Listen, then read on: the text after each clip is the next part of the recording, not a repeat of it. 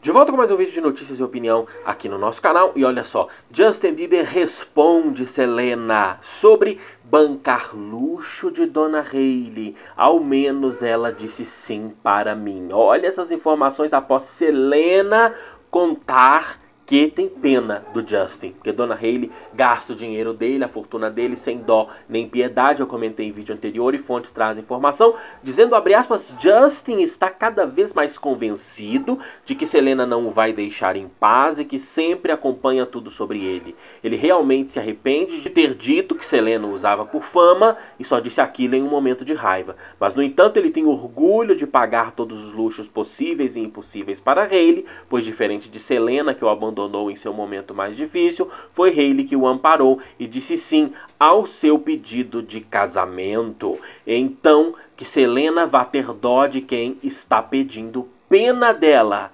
Justin não quer contar ao mundo os gastos milionários que Selena tem com Benny Blanco, financiando toda a campanha de marketing do novo livro dele. Fecha aspas, é treta! Selena disse verdades sobre Dona Hayley, não é? Que se fosse dinheiro dela, Selena não criticaria, mas Selena disse que tem pena porque Justin conquistou com muito sacrifício a sua fortuna. Mas isso incomodou Justin.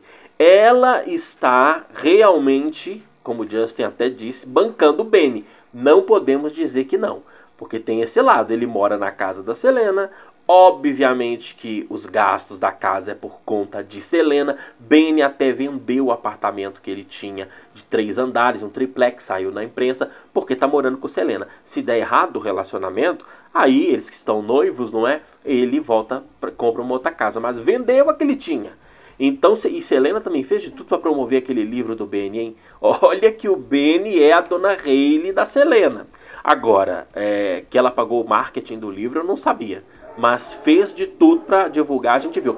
É fato que o Justin não supera o não da Selena, não é? Mas ele repete o mantra que Dona Hayley colocou na cabeça dele, de que? De que o salvou.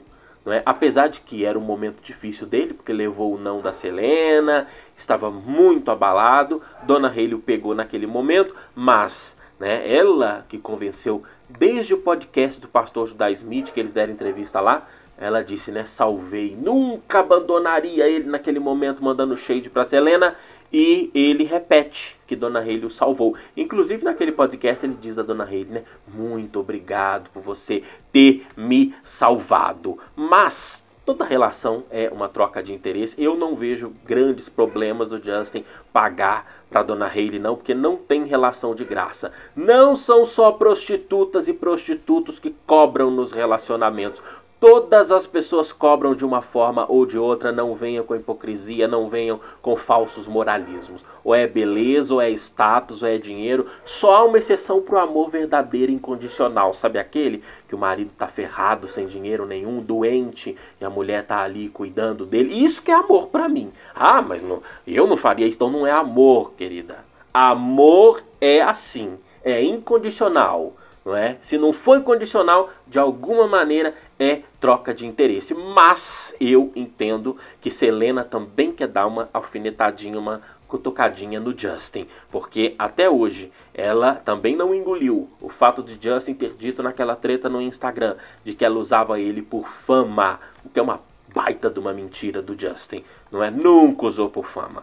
É um, útil ao agradável daquele momento, mas que não era decisão da Selena. Aliás, sabemos que o início de Gelena tem o dedinho da Mandy Tiff e o dedinho do Scooter Brown, tá? Lá no passado eles acharam que também seria de uma forma midiática bom para Justin e Selena namorarem.